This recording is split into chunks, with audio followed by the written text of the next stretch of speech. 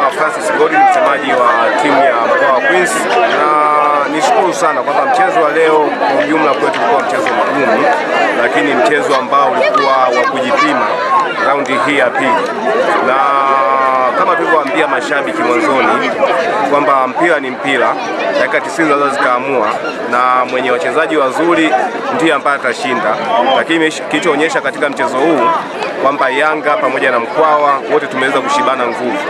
Kwa sisi tunasema kwamba kushibana nguvu huku, sare hii ya bila kufungana kwetu sisi ni ushindi, kwa sababu ina timu gani ambayo tumecheza naye? Timu ya Yanga ambayo inafanya vizuri katika msimamo wa ligi.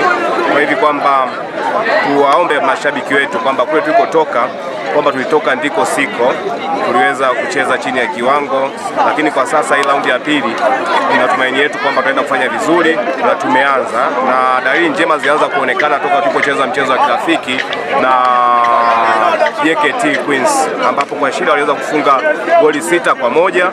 Baada ya hapo kwamba tumekuja kucheza na Fountain Gate kwa kuweza ah, not Fountain Gate, tuweza kucheza na timu ya tumekuja kucheza timu mbili hapa ambazo nazo matokeo hayakuwa mabaya sana.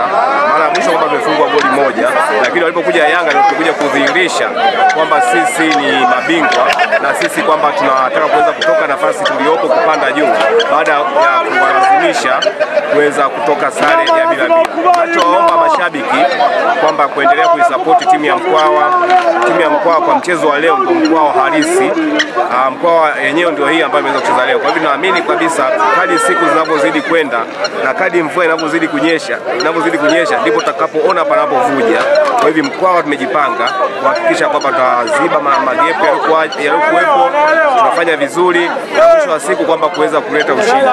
Shaba yangu kubwa ama shauku yangu kubwa kuona mashabiki wa soka mkoa wa Iringa kuendelea kushikamana kwa ajili ya Mkwawa, kwamba Mkwawa nia ameonyesha ya kufanya vizuri, japo tutafanya vizuri sana kuweza kuchukua ubingwa, lakini tunataka tuweze kufanya vizuri kuendelea kubaki kwenye ligi, kwa sababu kazi kubwa ni kupandisha timu. Tukishuka kuanza kuja kupandisha timu tena kazi kubwa. Kwa hivyo tunajipanga sasa hivi kuona kwamba tunabaki kwenye ligi ili msimu ujao tujipange sasa kuhakikisha kwamba mkoa tunachukua ubingwa, na hichi ambacho tumeonyesha hapa leo, wakazi wa manispaa Iringa, ndicho ambacho tutaendelea kuonyesha kwa timu zote zinazofuata.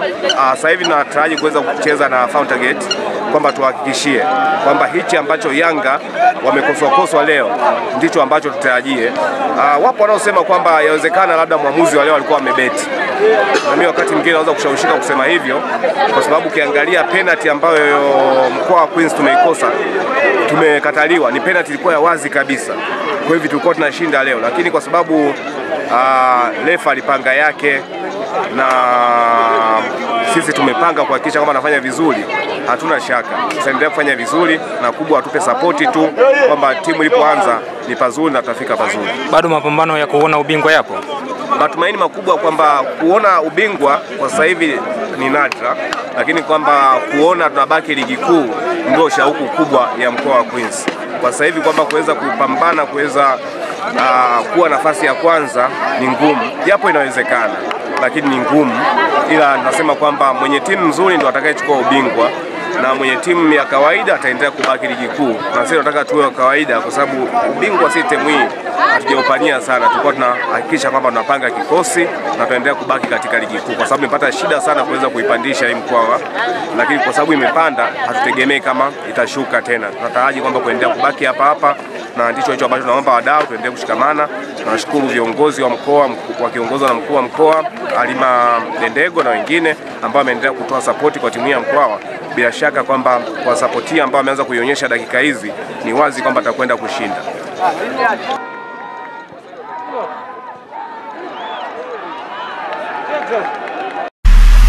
Huu ni wakati wako mkulima na mfugaji kupata huduma bora kwa gharama nafuu zaidi. Alpha Agrovet Supplies Limited wamekuja kuhudumia wewe mkulima kwa huduma za viuatilifu vya kupalilia mazao aina zote kama vile mahindi, mpunga, maharage, chegere, alizeti, soya, vitunguu, nyanya na mazao mengine. Tumekusogezea mkulima. Pia tunauza bomba za kupulizia viuatilifu kwa mazao yote. Zipo bomba za kuchaji na za kawaida, mashine za kupandia mahindi, maharage, jegele, alizeti, soya, vitunguu na karanga Ndani ya maduka yetu tunauza viuatilifu vya wadudu, ukungu, kutu na kadhalika. Pia tunauza mbolea aina zote kwa ruzuku ya serikali, bila kusahau majembe ya mikono na mabuti aina zote. Alpha Agrovet Supplies Limited tunapatikana stendi kuu ya zamani Miomboni mjini Iringa. Pia tumefungua duka kubwa jipya la kisasa eneo la Samora roundabout mjini Iringa na Ilula Mtua, au unaweza kutupigia simu kwa namba 0739702080 au 0612452080. Alpha Agrovet Supplies Limited ni mkombozi wa kweli wa mkulima.